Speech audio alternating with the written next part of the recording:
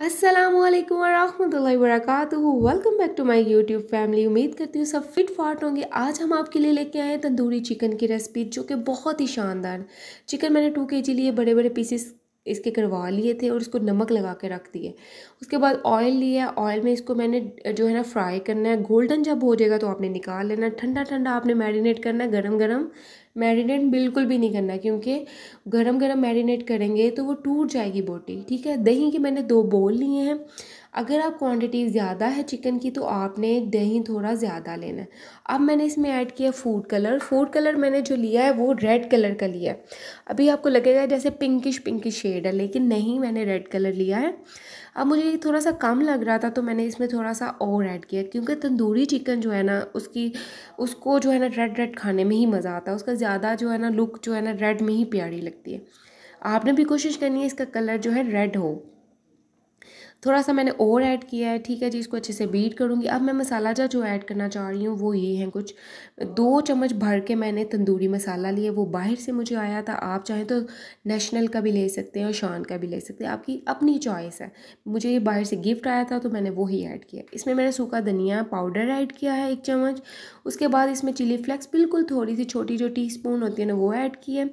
उसके बाद मैंने इसमें ऐड किया है सूखी मेथी, बिल्कुल ऐसे टच दिया है सूखी मेथी का। उसके बाद थोड़ी सी मैंने लाल मिर्च ऐड की ज़्यादा मिर्च ऐड नहीं करनी क्योंकि तंदूरी में हर तरह का उन्होंने मसाला ऐड किया होता है। ठीक है, हमारे घर में कुछ ज़्यादा स्पाइसी खाते हैं तो इसलिए मैंने इसमें ऐड कर दिया। अगर आप कम स्पाइस खाते हैं तो आप ना भी डालें तो कोई मसला नहीं है। थोड़ी सी हल्दी ऐड किए नमक डालूँगी टेस्ट के अकॉर्डिंग क्योंकि मैंने चिकन को लगाया हुआ है, मैंने एक चम्मच डाला है। अब अच्छे से इसको करूँगी बीट अच्छे से बीट करने के बाद हम चिकन को लगा के रखेंगे। पहले तो आप अच्छे से बीट करें, इसके अंदर जो गुठली है ना, वो अच्छे से मिक्स और मैश हो जाए। उसके बाद आप इसको जितनी देर रखेंगे ना, ये वेल एंड गुड है। अगर आप पूरी रात लगा के रखेंगे ना तो इसका टेस्ट शानदार आएगा। ठीक है, अगर आप मेहमान अचानक से आ गए तो आप फ़ौरन से भी बना सकते हैं, लेकिन फ़ौरन बनाने से भी पहले आप एक दो घंटा रखेंगे तो ज़्यादा अच्छी बात है।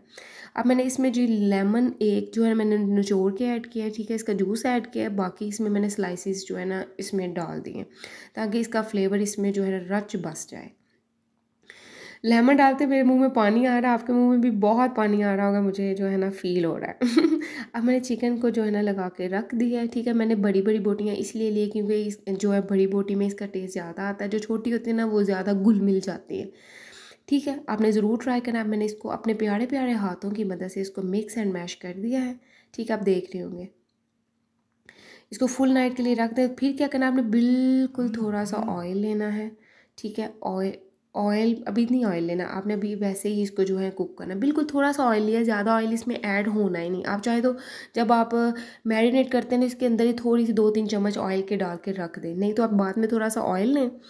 अब आपने क्या करना है, जिसको कुक करना है, दही ने अपना पानी छोड़ना है, उसी पानी में जो है ना सॉफ्ट होगी। आपने इसको, इसका पानी जब ड्राई होना स्टार्ट हो जाएगा, आपने इसमें मैंने थोड़ी सी, मुझे काली मिर्च डालना भूल गई थी, मैंने थोड़ी सी टच दी है काली मिर्च टी स्पून डाली है बस, ठीक है? अब इसका पानी ड्राई होना स्टार्ट हो गया पानी उसने चिकन ने भी पानी छोड़ दिया है दही ने भी अपना पानी छोड़ दिया अब इसको मैंने कवर करके इसलिए पकाना है क्योंकि बोटी जो है ना सॉफ्ट हो अंदर तक। ये देखें जी अब आपको दिखाते हैं वल्ला आलम उफ क्या मज़ेदार किस्म की उसकी खुशबुएँ आ रही थी। आस पास के लोग भी आपसे पूछेंगे कि क्या बना छोड़ा आपने। ज़रूर मेरे चैनल पे विज़िट करना है अपना और अपने प्यारों का ख्याल रखें। अपनी सेहत का ख्याल रखें, घर के फ़ूड खाएँ, अपना और अपने प्यारों का ख्याल रखें। अल्लाह हाफिज़।